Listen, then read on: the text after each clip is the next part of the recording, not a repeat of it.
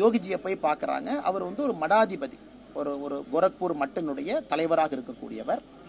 அவர் UP போனீங்கன்னாவே மகராஜன் தான் சொல்லுவாங்க. எல்லாருமே கூப்பிட்றது மகராஜன் தான் சொல்லுவாங்க. ஏன்னா அங்கே ஒரு வழக்கு முறை அந்த மடாதிபதியினுடைய பீடாதிபதியினுடைய தலைமையாக இருக்காங்க.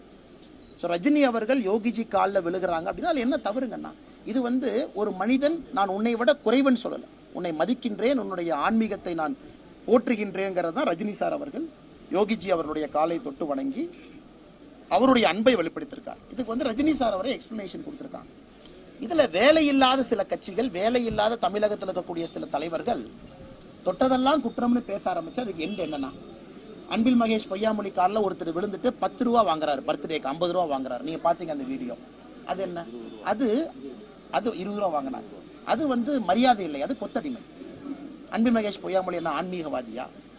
ஒரு அரசியல் கட்சியில் இருக்கக்கூடிய தலைவர் என்பதற்காக காலில் விழுகிறாங்க. இப்போ புதுசாக பார்க்குற திமுகவில் ஸ்டாலின் அவங்க காலில் அமைச்சர்கள் விழுந்து மரியாதை வாங்குறாங்க. உதயநிதி ஸ்டாலின் அசம்பிளியில் இருக்கும் பொழுது அவரை விட நாற்பது வயசு மூத்த ஒரு எம்எல்ஏ இடுப்பே உடையும் அளவுக்கு குமிறார் இதை பற்றிலாம் திருமாவளவன் பேச மாட்டாரா?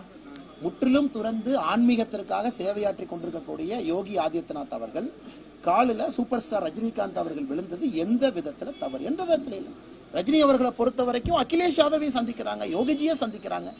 எல்லா தலைவர்கள்ட்டையும் நட்பு நட்பு பாராட்டுறாங்க. இதை வந்து வேலையில்லாத அரசியல்வாதிகள் ஒரு சர்ச்சையாக்கிட்டு இருக்காங்க.